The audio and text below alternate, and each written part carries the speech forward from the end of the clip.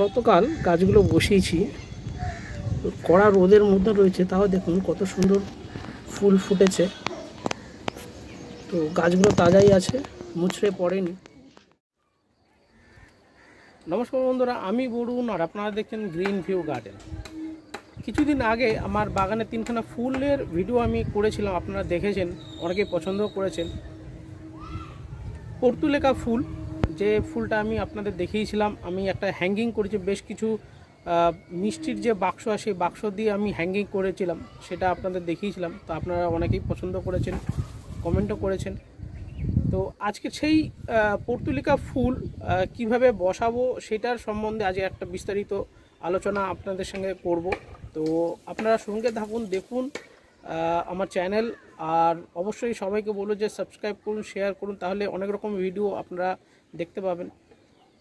তো কীভাবে বসাচ্ছি আর মাটি আজকের কি হবে সেটা সম্বন্ধে আজকে একটু আলোচনা করব।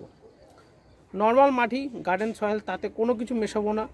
একটা জিনিস যেটা আজকের মিশিয়ে আজকে করব, অনেক সময় অনেক রকম ভিডিওতে বিভিন্ন রকমের মাটি দিয়ে আমি আপনাদের দেখিয়েছি, কিন্তু আজকের মাটিতে স্পেশাল কিছু থাকবে না, শুধু গোবর আর মাটি দিয়ে আজকে আমি এই গাছ বসাবো। গোবরের সম্বন্ধে একটু আলোচনা করব।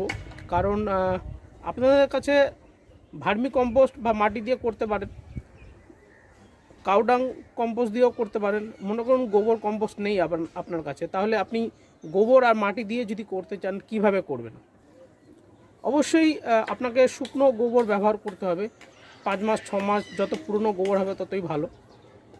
তো শুকনো গোবর কেন? কারণ আপনারা যদি কাঁচা গোবর ব্যবহার করেন, কাঁচা গোবরে প্রচুর পরিমাণে অ্যামাইনো গ্যাস থাকে, এটা আপনারা সবাই জানেন, যার দিয়ে গোবর দিয়ে আর কি গ্যাস তৈরি হয়, এটা আপনারা সবাই জানেন, প্রচুর পরিমাণে অ্যামাইনো গ্যাস থাকে, যেটা আপনার গাছের ক্ষতি করবে। আর আরেকটা জিনিস যেটা মাত্রা অত্যধিক পরিমাণে আছে, সেটা হলো নাইট্রোজেন গোবরে প্রচণ্ড পরিমাণ নাইট্রোজেনের মাত্রা থাকে, যেটা আপনার গাছের ক্ষতি করবে বলতে কি, আপনার যে কাঁচা গোবর গাছে ব্যবহার করেন, গাছ আপনার দেখবেন দু চার দিনের মধ্যেই গাছ মরে যাচ্ছে। তো নাইট্রোজেনের মাত্রা কমানোর জন্য আর অ্যামাইনো গ্যাসটা বার করার জন্য আপনাদের শুকনো গোবর ব্যবহার করতে হবে। যে গোবর যত পুরনো হবে, তাতে আপনার অ্যামাইনো গ্যাস কমে যাবে এবং নাইট্রোজেনের মাত্রাটা অনেকটা কমে যাবে। তো শুকনো গোবর ব্যবহার করুন। আমি ঘুটে নিয়ে এসেছি। সেই ঘুটে আমি ভিজিয়ে রেখেছি, সেটা আমি আপনাদের দেখাচ্ছি। তো কতদিন ভিজিয়ে রেখেছি আর ভিজানোর পরে সেই গোবরটা কীভাবে ব্যবহার করে সেটা সবই আমি আপনাদের আজকে দেখাবো। তো আজকের টবগুলো একটু বলার আছে। আজকে টবগুলো স্পেশাল কিছু টব নেই। আমার জলের যে কুড়ি লিটার ড্রাম থাকে, তারই একটা পার্ট রেখে দিয়েছিলাম এই ছোট ছোট এইসব গাছগুলো বসানোর জন্য। তো সেই গাছগুলোই আজকের এই ছোট ছোট যে টবের অন্য আলাদা শেপ আর কি। তো সেই সবে বসি, বসাবো আজকে।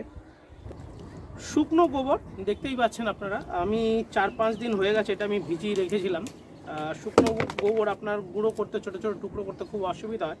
তো এটা ভিজিয়ে রেখেছিলাম এবং ভিজিয়ে রাখার আরও একটা কারণ হলো যাতে এর যে নাইট্রোজেনের মাত্রা কম হয়ে গেল কিন্তু গাছের পক্ষে যথেষ্ট নয়। তো মাত্রাটা আরেকটু কমানোর জন্য আগে ভিজিয়ে দিয়েছিলাম যাতে জলের মধ্যে, এই দেখুন জলের কালার কত সুন্দর একটা ব্রাউনিশ কালার হয়েছে। তো জলের মধ্যে কিছুটা পরিমাণে সেই নাইট্রোজেনের মাত্রা কমে যাবে এবং অ্যামিনো অ্যামাইনো গ্যাসটাও কমে যাবে। তো সেই কারণে আমি জলের মধ্যে ভিজিয়ে রেখেছিলাম আর গোবরটা যথেষ্ট নরম হয়ে যাবে যাতে আপনার গুঁড়ো করতে সুবিধা হয় এবং মাটিতে খুব ভালোভাবে যাতে মিশে যায়। তো এই কারণে আর কি ভিজিয়ে রেখেছিলাম। তো এখন আমি যে গোবরগুলো ভিজিয়ে রেখেছিলাম, সেগুলো আমি একটা পাত্রে আমি তুলে নিচ্ছি। এই দেখুন, পুরো গোবরটা আমি একটা পাত্রে আমি তুলে নিচ্ছি। এগুলোকে আমি এখনই গুঁড়ো করে নেব। আর গোবরের যে জলটা আছে, এই জলটা আপনারা গাছে ব্যবহার করতে পারেন। এর মধ্যে আপনি এই যে জলটা আছে, এর মধ্যে আরও যতটা এই জল নেবেন আরও এর থেকে ডবল পরিষ্কার জল নেবেন। সেই জল নিয়ে আপনি গাছে দিয়ে দিতে পারেন। গোবরের জল যেরকম দেওয়া হয়, আপনারা দিতে পারেন। আপনারা আগে আমার ভিডিওতে দেখেছেন, আমি অনেক রকম জৈব সার আমি তৈরি করেছি, সেই সারগুলো আমি গাছে প্রয়োগ করি। তো আপনারা শুকনো গোবর ভিজিয়ে সেই জলটা ফেলবেন না। এই জলটাও আপনি গাছে দিতে পারেন। গাছের পক্ষে খুব- ভালো উপকারী হবে।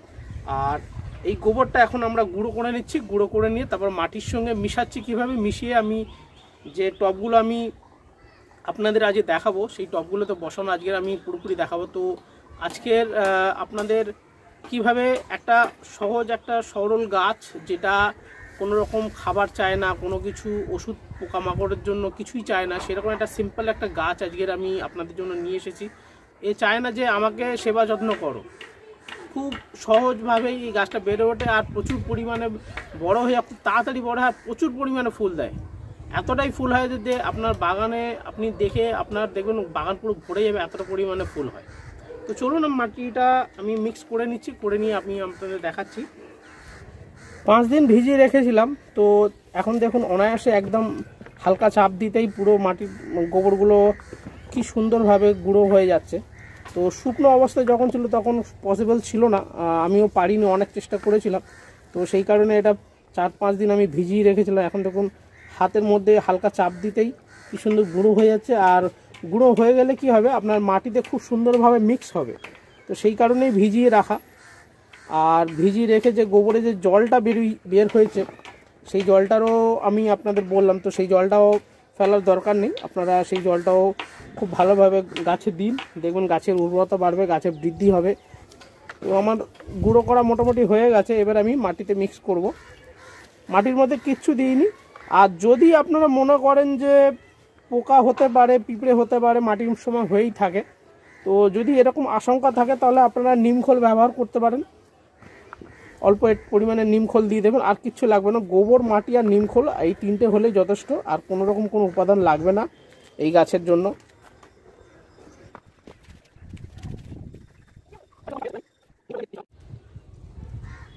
এই আমার একটা লক্ষ্মী জবার গাছ, সেই গাছের মধ্যে আর কি পড়তে লেখা গাছটা হয়েছে, আরও অনেক জায়গায় হয়েছে। তো গাছটা আমি এখন তুলে নিচ্ছি। বা এখান থেকে আপনারা ডালও ভেঙে নিতে পারেন। এই গাছটি এমন একটি গাছ যেটা আপনার শিকড়ের প্রয়োজন হয় না। আপনারা যদি একটু ডালও ভেঙে নেন, তাতেও যথেষ্ট হবে। তো আমি একটু ডাল ভেঙে নিচ্ছি। তো আরও অনেক জায়গায় হয়ে আছে, চলুন দেখাই আপনাদের। এই দেখুন, এই আর একটা আমার জবা গাছ।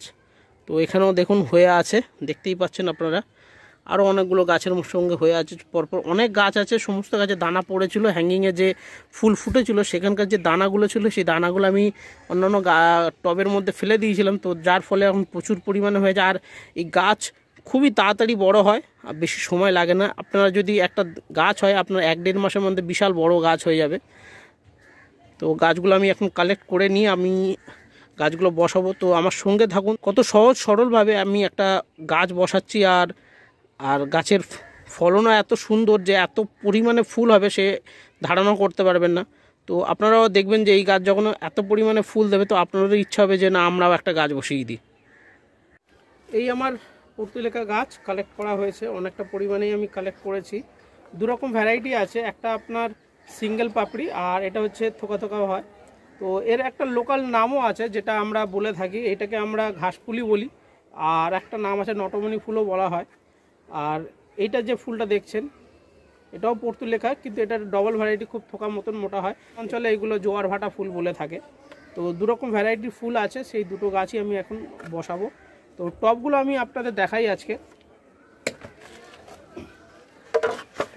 এই হচ্ছে আমার আহ, আমার অন্যান্য গাছগুলো বসিয়েছিলাম তো এইগুলো কেটে ফেলে দিয়েছিলাম। তো ভেবেছিলাম যে কোনো কাজে লাগবে না তো ভাবলাম যে এর মধ্যেই বসানো যাক দেখা যাক কীরকম পরিমাণ কীরকম গাছগুলো হয়।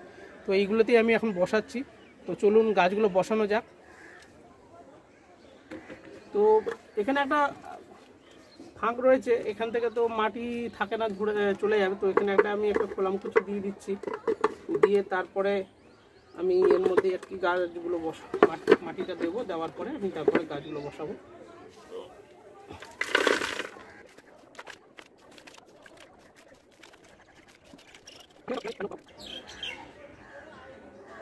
এইটা দেখতে পাচ্ছি এখানে শিকড় রয়েছে, এটা সমেত আমি বসিয়ে দিচ্ছি। আর বেশ কিছু দেখুন, শিকড় নেই, শুধু ডালই আমি কেটে নিয়ে বসাচ্ছি। এই দেখুন, খুব কমজোরি ডাল হয়, খুব শক্ত, শক্তপোক্ত ডাল নয়, ধরতেই মধ্যে সঙ্গে সঙ্গে ভেঙে আছে এই ডালটাই আমি এখানে বসিয়ে দিচ্ছি।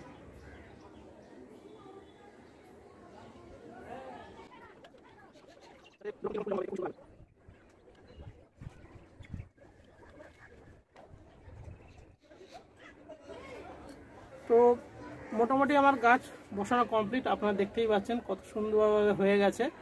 আর দুরকম ভ্যারাইটির গাছ আমি একসঙ্গে দিয়ে দিয়েছি, যাতে জিনিসটা দেখতে সুন্দর লাগে। তো আর কিছুদিন একটু অপেক্ষা করতে হবে, কারণ যেহেতু আমরা ডাল বসিয়েছি, তো দু তিন দিন এই গাছগুলো একটু কমজোরি থাকবে। যখন এটা শিকড় আবার ধরে নেবে, শিকড় ধরে নিলে তারপরে দেখবেন গাছগুলো আবার সতেজ হয়ে যাবে। আর তারপরে খুব তাড়াতাড়ি গাছটা বাড়া শুরু করবে। আর এর গ্রোথ এতটাই ফাস্ট যে অন্যান্য গাছের তুলনায় যে আপনার এক মাসের মধ্যে এখানে যতটা পরিমাণে গাছ আমি দিয়েছি, এক মাসের মধ্যে দেখা যাবে এতে তিন গুণ, চার গুণ গাছ হয়ে যাবে আর ফুলে ভরে যাবে। তো অপেক্ষা একটু অপেক্ষা করি দেখা যাক নেক্সট কতদূর কি হয় না হয়। এত সুন্দর কালার হয়, প্রচুর ভ্যারাইটি কালার হয় আর যত ভ্যারাইটি কালার হবে আর চারিদিকে যখন দেখছেন লাল, নীল, কমলা রং, সাদা মিক্স কালারও হয়, অনেক রকম ভ্যারাইটি আছে। তো সিঙ্গেল পাপড়ি ডবল পাপড়ি সব রকমের ফুল যখন চারিদিকে ভরে যাবে আর দেখতে এতটাই সুন্দর লাগবে যে আপনার বাগান থেকে আপনার অন্য জায়গা তাকাতে ইচ্ছে করবে না। মনে হবে যেন বাগানের দিকে ওই ফুলগুলোর দিকে সবসময় তাকা- তাকিয়ে থাকি। তো আমার আগের ভিডিওতে দেখিয়েছি যে এত পরিমাণে ফুল রয়েছে যে আমার অন্যদিকে সত্যি আমারও ইচ্ছা হয় না যে না, ফুলের দিকে সবসময় তাকিয়ে থাকি। যে ছোট ছোট ফুল দেখতে এতটাই সুন্দর। তো আশা করব আপনাদেরও এই ভিডিওটা আপনাদের সবার ভালো লাগবে। আর ভালো লাগলে অবশ্যই সাবস্ক্রাইব করুন, শেয়ার করুন। আর বন্ধুদেরকে জানান, আপনাদের দিদি, বোন, ভাই যারা আছে, যারা গাছকে ভালোবাসে, তাদের কাছে শেয়ার করুন। তাদেরকে অন্তত একবার জানান যে, তো আশা করব এই ভিডিওটা আপনাদের এবং আপনাদের বন্ধু বান্ধবদের যাদেরকেই পাঠাবে, সবারই ভালো লাগবে। তো যদি ভালো লাগে অবশ্যই সাবস্ক্রাইব করবেন, একটু শেয়ার করবেন। আর কমেন্ট যদি থাকে অবশ্যই কমেন্ট করবেন। আর নেক্সট স্টেপে আমি এই গাছগুলো কতটা কীরকম গ্রোথ হচ্ছে সেটাও আমি আপনাদের আপডেট করব। তো আশা করব আজকের ভিডিওতে এতটাই যে আপনাদের একটা সহজ সহজ পদ্ধতিতে আমি একটা গাছ বসিয়েছি আজকে। তো সেই গাছ বসানোর পদ্ধতিটা আপনাদের ভালো লাগবে। আর বিশেষ করে আজকের যে মিড জায়গাটা আমি করেছি, যে টপটা আমি ব্যবহার করেছি, সেই টপটা আশা করি আপনাদের সবারই পছন্দ হবে। কারণ সবসময় তো প্লাস্টিকের টপ বলুন বা মাটির টব, অনেকে সিমেন্টের টপ করছেন, অনেকে ব্যালকনিতে র্যাক করে করছেন, অনেক রকমভাবেই করেছেন। তো এই টপটা আশা করি আপনাদেরও পছন্দ হবে যে একটা নতুনত্বভাবে আমি করার চেষ্টা করেছি। তো আশা করব আপনাদের গতকাল গাছগুলো বসিয়েছি। কড়া রোদের মধ্যে রয়েছে, তাও দেখুন কত সুন্দর ফুল ফুটেছে। তো গাছগুলো তাজাই আছে, মুছড়ে পড়েনি। এত কড়া রোদের মধ্যেও গাছগুলো খুব সুন্দরভাবে দাঁড়িয়ে রয়েছে, দেখুন। ফুলও ফুটেছে, যথেষ্ট পরিমাণে ফুল ফুটেছে, যেগুলো আজকের ফোটাচ্ছিল। গতকালে যে ডালগুলো ভেঙে ভেঙে বসিয়েছি, সেইগুলো দেখুন, আজকে ফুল ফোটাচ্ছিল, সেগুলো ফুটেছে। আর এই একটা গাছ দেখুন, এর মধ্যে হলুদ রঙের আছে, এটা দানা থেকেই তৈরি হয়েছিল, আমি দানা ফেলেছিলাম। তো জলের যে উপরে ঢাকনাগুলো আছে, যেটা বলছিলাম আর কি ফেলে দেবো ভেবেছিলাম, তো সেগুলো ফেলে নিয়ে রেখে তো এটার মধ্যে আমি বসিয়েছিলাম। প্রায় এক মাস আগে আমি এখানে দানা দিয়েছিলাম, একটা গাছ বেরিয়েছিল। সেই একটা গাছেই দেখুন কি সুন্দর হয়েছে। আর দেখতেও ভালো লাগছে যে এক, একটা গাছ এতটা পরিমাণে গ্রো করেছে এক মাসের মধ্যে। তো বন্ধুরা দেখতেই পাচ্ছেন যে পর্তুলিকা গাছ কত সহজে হয়, কোনো বেশি কিছু পরিচর্যা লাগে না। খুব ইজিলি গাছগুলো পটিং করতে পারবেন আপনারা, আপনারাও এই কাজ করুন। আর যেখানে সেখানে এই গাছ দেখতেই পাবেন, অনেকের বাড়িতেই থাকে। তো সেখান থেকে একটা করে ডাল নিয়ে আসলেই হবে, নিয়ে এসে বসিয়ে দিন, চিন্তা করবেন না। এরকম সুন্দর সতেজ গাছই পাবেন, আর খুব ভালোভাবে বাড়বে, প্রচুর পরিমাণে ফুল হবে। তো আশা করব আজকের ভিডিওটা আপনাদের ভালো লেগেছে। যদি ভালো লাগে অবশ্যই সাবস্ক্রাইব করবেন ও শেয়ার করবেন।